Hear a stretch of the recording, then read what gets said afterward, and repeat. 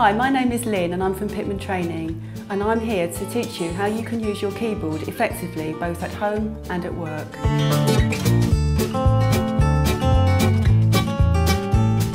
Today we are going to show you how to type the Enye symbol using your keyboard. The Enye symbol is used mainly in the Spanish language. Firstly, make sure that your numeric keypad is active by pressing the numlock key and make sure the light has come on on the keyboard. Now press Alt and 0, 2, 4, 1. This will type the symbol in lowercase. To type this in uppercase, press the Alt key and then 0, 2, 0, 9 on your numeric keypad and release the Alt key.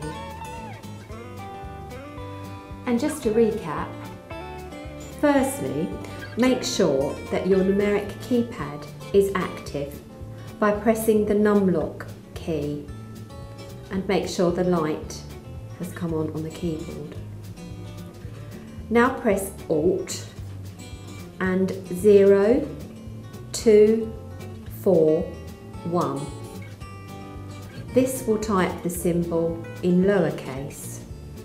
To type this in uppercase, press the Alt key and then 0, 2, 0, 9 on your numeric keypad and release the Alt key.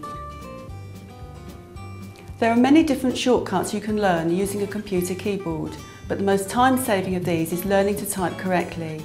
You can learn to type at a Pitman Training Centre near you